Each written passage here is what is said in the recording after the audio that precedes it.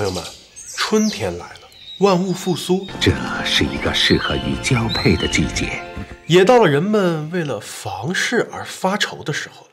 哎，求懂吗？的，这个房事啊，说的是房子的事儿，房子的事儿，也不知道是不是跟季节有关啊。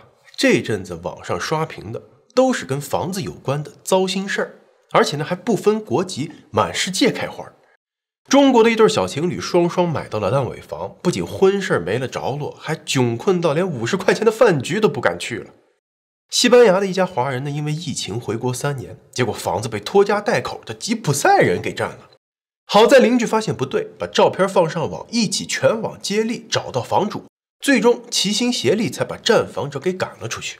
而在美国纽约啊，一位七十九岁的老妇人被人冒充她的侄子，将房子挂牌出售。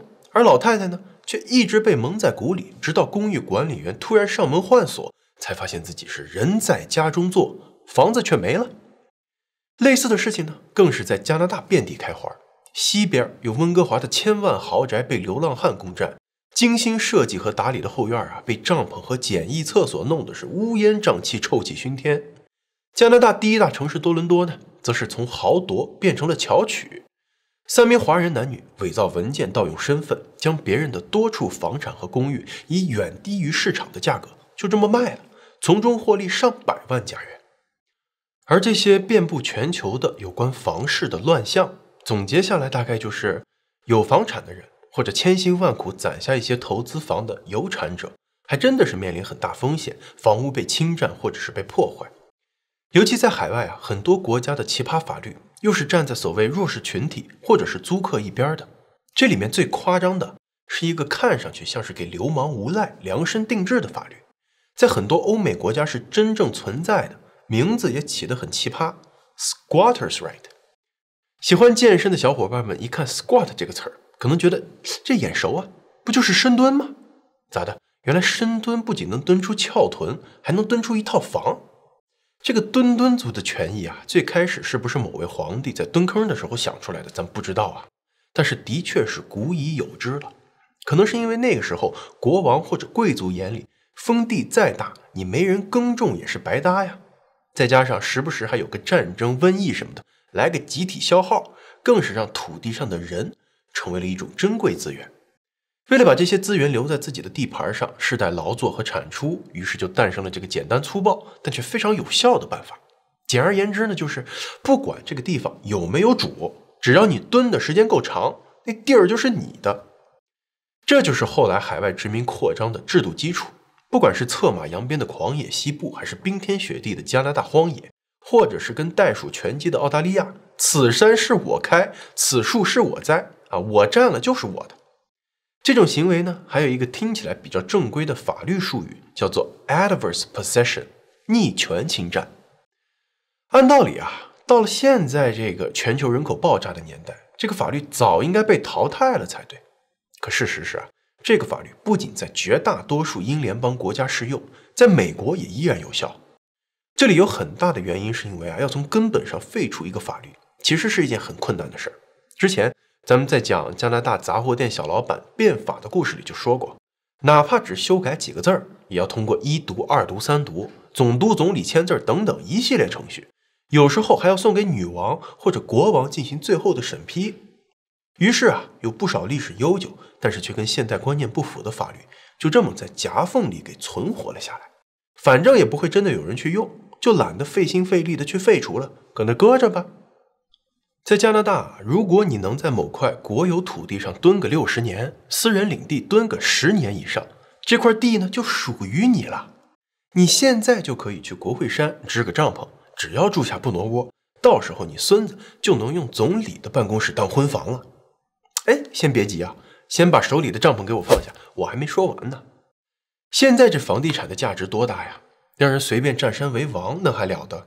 所以这个法律里头其实有很多附加的条款。想要达到占地儿的目的呢，你得像老母鸡孵蛋一样不挪窝，不能三天两头去打个卡，逢年过节的去住两天，得长此以往的坚定不移的处在那儿。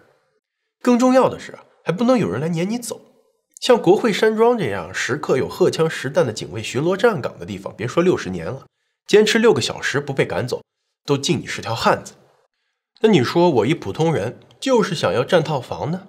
其实也很难。逆权侵占的重点是在侵占上。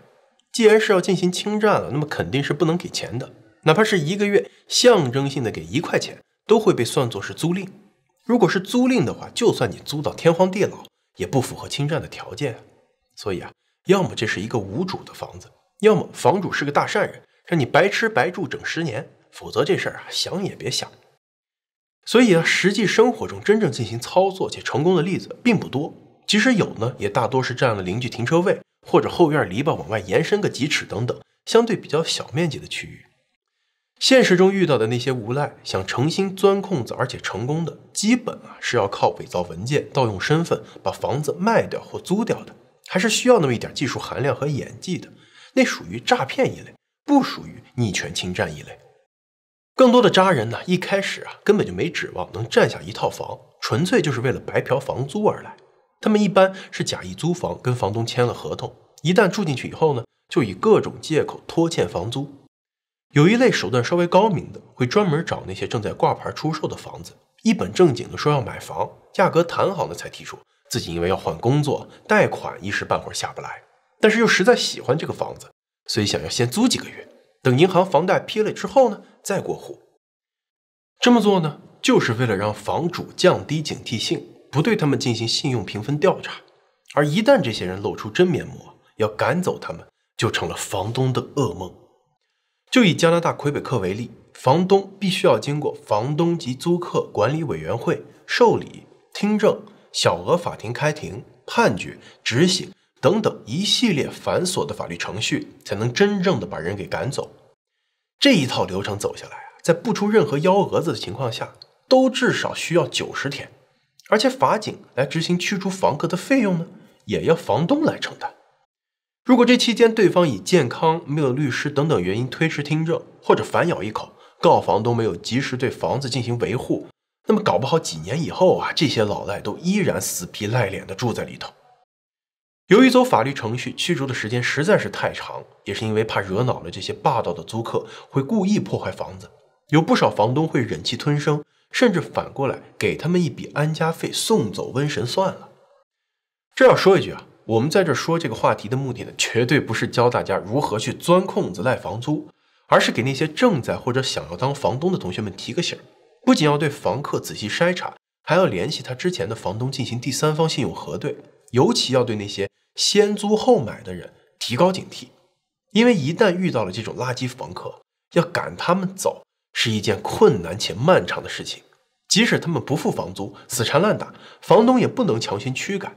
如果这里面还有老弱妇孺，那就更好比是嫩豆腐上沾了灰，吹也吹不得，打也不敢打。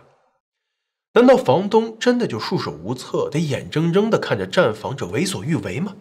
其实也不然，有个叫做 Flash Shelton 的美国大叔，就以亲身经历给大家演示了如何不用通过警察，也不用动用武力。在一天之内就把占房者给赶走的战例，讲给房东们做参考。这个大叔是一个有四十多年经验的 handyman，也就是很多人眼中的勤杂工。尽管这个工作看起来好像不起眼儿，大叔却是把一辈子的精力都投入了进去。不仅建立了一个叫 United Handyman Association 的民间组织，还在油管上开了一个小频道，旨在让大家认识勤杂工这个工种。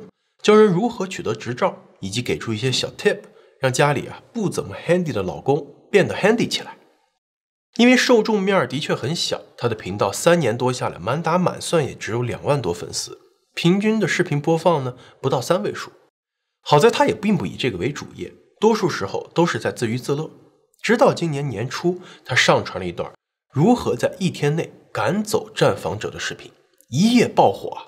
在短时间就收获了三百多万的观看，而勤杂工大叔跟站房一家的战争还要追溯到几个月前。当时大叔的父亲因病去世，由于担忧母亲的心理状态，也是为了方便照顾，于是他将母亲接到自己家中同住，而母亲在加州的房子则挂在网上进行出租。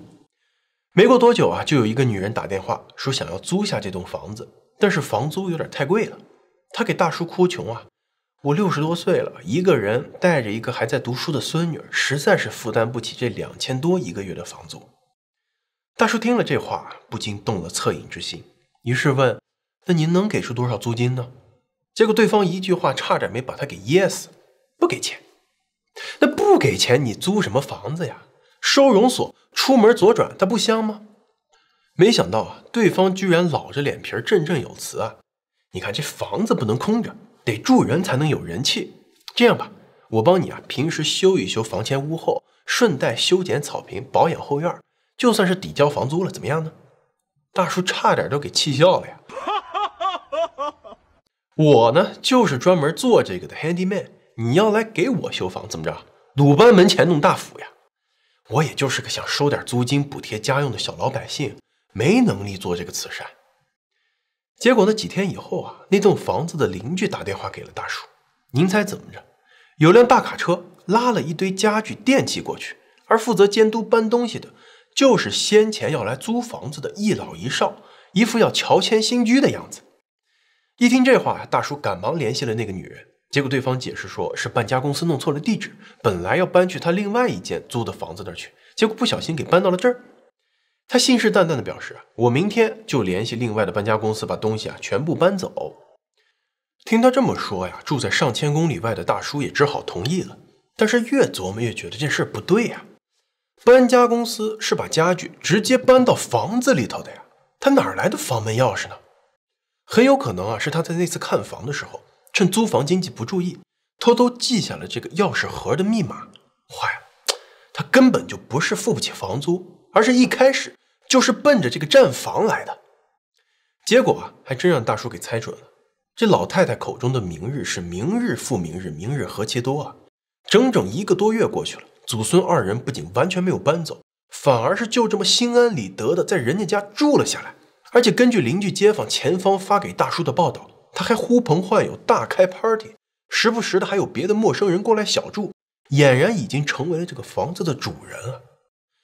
大叔于是打电话给当地警察，结果对方听完了他的描述以后，前后就问了俩问题：人已经住进去了，门上锁了没？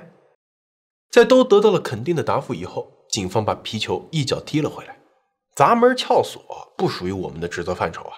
等你把人从屋里弄走了，再过来找我们吧。大叔直接无语了：哎，感情您觉着我打电话报警是来找你们聊天的吗？而警方给出的理由是。你必须要拿出对方趁你不在强占屋子的证据，视频也好，录音也罢，必须要对方承认是未经你的允许偷偷进入，且没给一分钱房租，否则这事儿完全就有可能是房东跟房客之间的租赁纠纷，我们警方不介入。可是老房子哪来的什么监控啊？如果这次不是邻居发现，估计大叔到现在都不知道对方已经住进去了。眼看着警方这条路走不通，他只好又联系了一个律师。结果对方给出的那套流程啊，简直是叹为观止啊！首先啊，你要证明你妈是这个房子的屋主啊，然后你得证明你妈是你妈，你才能拿到全权处理这个事情的权利。之后啊，你还得证明你跟这个占房者之间没有任何的租赁合同、口头协议、金钱交换，还需要证明你们两个之间没有过节，你没有歧视他的性别、肤色、年龄。所有这一切走完了，那么恭喜你。你可以去法院要求立案了。啥？他赶紧搞这么一大堆证明，才只是赶人的第一步。律师那边呢，对他的理解能力表示满意。啊，对。然后啊，你要等开庭排期。按照现在这个速度嘛，快的话大半年，慢的话好几年。末了啊，律师还安慰他说，如果一切顺利的话，十年内可以搞定。那么他逆权侵占的这个年限呢，就不够，房子。就还是你的哦。大叔听了之后表示啊，十年你妹啊！我这口气是十天都咽不下去。可是就像先前所说的，这对祖孙啊，可是把老弱妇孺这四个字儿谁都不敢碰的 buff 叠齐了，动手硬干那是分分钟要躺地上碰瓷儿给你看的节奏啊！这时候呢，他脑子里突然冒出了一个大胆的想法：既然占房这个事儿是你占你有理，那我反过来把房子再占回来不就好了吗？于是啊。他赶紧找到母亲，跟他签订了一份租房合同，上面写明大叔才是这个房子现在的合法租户。然后呢，他收拾了一些生活必需品，带上了防身的家伙以及自己的狗狗，连夜开车前往母亲的老宅。一人一狗长途跋涉了十二个小时以后，他终于在凌晨四点赶到了母亲的那栋房子。就像邻居所描述的那样，屋里头亮着灯，门口停着车，一看就是里头住着人。由于不知道屋里到底有多少人，大叔也不敢大晚上的单枪匹马跟人正面硬刚啊。于是他把车停在不远的街角，死死地盯住房子的大门，就是要用守株待兔的方法，等房子里的人全部离开。功夫不负有心人，就这么一直等到早上九点多，他看见那对占房子的祖孙一前一后的离开。门口的车子也开走了。大叔在巡视了一圈，确认屋里没人以后啊，来到这个房子的前门，随身携带着全套的开锁工具，结果却惊讶的发现，对方懒得连门锁都没换。于是啊，他用自己的备用钥匙，轻松的就打开了大门。为了避免对方反咬一口说他入室盗窃，大叔把进入房子的全过程都用手机给拍摄了下来。结果他发现，屋子里不仅是堆满了家具。还有很多没有完全拆开的搬家用的纸箱子，厨房里头还有吃剩的食物和很多生活垃圾。看来这祖孙二人呢，日子过得真够邋遢的。他把每个房间的情况都用手机拍下，留作证据。以后开车去了最近的一家电器行，买下了全套的监控设备，确保屋里屋外都能在摄像头的覆盖之下。这个也是吸取了之前房子被占、报警而没有证据的教训。现在有了监控记录，你祖孙二人再敢回来，就是实打实的非法入侵民宅。正在他热火朝天的安装摄像头的时候，只见那祖孙二人回来了。三个人面对面，都感觉到又惊讶又有点尴尬。还不等他俩开口，大叔就先一步表示：“现在这个房子我已经住进来了，而且我手里还有租房合同，我才是这个房子的合法居民。你俩如果在我眼皮子底下踏入房子一步，”就属于非法入侵，我不仅可以报警，而且根据加州的就地防卫法，我还可以动用武力。一看大叔动了真格的，那个女人立刻就怂了，她于是又开始哭穷，说自己一个老人带着孩子是多么的不容易，找个容身之地实在是太难了。看见大叔依然守在门口不为所动，他又开始狡辩说自己根本没有住在房子里哟，家具、衣服什么的，纯粹就是搬家公司给送错了哟，暂时放在里面的。在等别的公司搬走而已。换句话来说，就是我们可没占你的房子，是我们的家具占了你的房子。一听这话呀，附近的邻居先一步仗义出手了，他们纷纷给出了门口的监控，显示在过去的一个多月里啊，祖孙二人天天都在这个房子里进进出出，分明就是住在里头。不过大叔呢，还是做人留有一线，他并没有把这两个占房者的相貌拍进自己的视频里，而是尽量的压低了镜头。只让他们的手和声音出现，唯一的一次出镜画面也用黑白线条做了处理，保全了他们的隐私，而且还给了他们十二个小时的时间，把屋子里的东西全部搬走。如果逾期不搬的话，他就会把这里面的东西自行处理掉。为了显示自己的决心呢，他在附近拉来了几个膀大腰圆的小伙子，告诉他们，等午夜钟声一响啊，这屋里头剩余的衣服也好，家具也罢，就都归你们了。一听居然有这样的好事儿，那几个人兴致勃勃地守在那儿当起了监督，就等着时间到了上去捡漏。眼看着的确是没有任何周旋的余地了，祖孙二人只好赶紧打电话联系搬家公司。毕竟被赶走了事小，东西都没了才是大事儿啊！为了赶在最后期限之前把所有的东西都搬走，他们不得不求助于那些站在旁边看热闹的年轻人。听到这个请求啊，那些年轻人当场就笑了。不是大姐，您别忘了啊，我们处着是干嘛的？就是等着收你那些没搬完的东西啊。我们帮你搬完了，我们还能剩个啥呢？于是啊，这些人哪怕是听他说出个大天来，都一个手指头都不愿意动。其实看着这一老一少这么手忙脚乱的搬东西啊，大叔也不免心生同情，觉得这孤儿寡母的可能真的不容易，稍微宽限个几天也未尝不可。但是马上就有邻居出来制止了他快要泛滥的圣母心。当初不就是因为你一时心软，才让他俩在这房子里赖了一个多月吗？如果这次又放过他们，那才是成了农夫与蛇的故事了。于是大叔狠下心肠，就跟之前说的那样，午夜十二点一到，果断换掉了门锁。大叔的这场二十四小时成功赶走战房者的视频放上网以后，引起了巨大的讨论热度。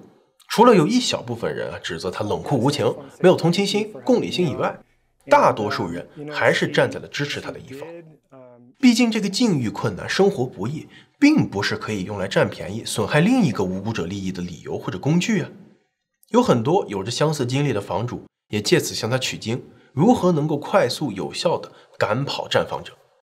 对此啊，大叔总结了几条。首先，你得确保自己的做法绝对合法，比如他手里有那张由他和母亲共同签字的租房合同，合理合法的拿到了房子的居住权。他在进入房子的时候没有使用武力，也没有对站房的祖孙二人进行威胁和恐吓，甚至连脏话都没说一句。还有就是一定要保持冷静，随时录像录音留作证据。在二人搬家的时候，不仅用摄像头拍下了全过程。还一直都拉来了第三方作为见证，从根源上杜绝对方碰瓷儿或者反咬一口的可能性。最重要的是啊，不要后退，不要心软，否则对方就能抓住机会得寸进尺。因为啊，在一个根本没有底线的人面前，就更是要守住自己的底线。感谢收看《M 二档案》，如果您觉得视频还不错，别忘了点赞、订阅、转发支持一下。咱们呢，下期再见。